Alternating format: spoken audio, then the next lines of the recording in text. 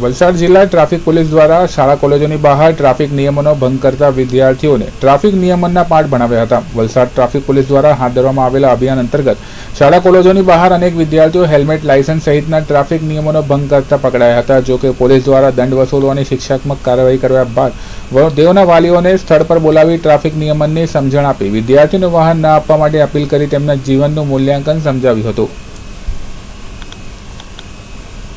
હાલમાં college school પાસે ઊભા જ અત્યાર સુધીમાં આઠ વિદ્યાર્થીઓ પર કાર્યવાહી કરવામાં આવેલ છે. જેની પાસે લાયસન્સ નથી હોતા સગીર વયના હોય તેઓના ઉપર ટીનેજર્સને અમે ડ્રાઈવ રાખેલ છે આજે. એ કાર્યવાહી કરવામાં આવે છે. સર આ ડ્રાઈવ કેટલા દિવસ ચાલે? આ ડ્રાઈવ તો અમે અવારનવાર કરતા જ રહીએ છીએ કારણ કે નાની વયના બાળકો અકસ્માતના કારણે પોતે અથવા તો બીજાને જાનહાનિ નુકસાન કરે છે ને પેરેન્ટ્સ ધ્યાન આપતા નથી પોતાના બાળકને નાની વયના હોવા છતાં એ લોકો વ્હીકલ લઈને મોકલાવી દે છે. જેના કારણે આ કાર્યવાહી ચાલુ છે.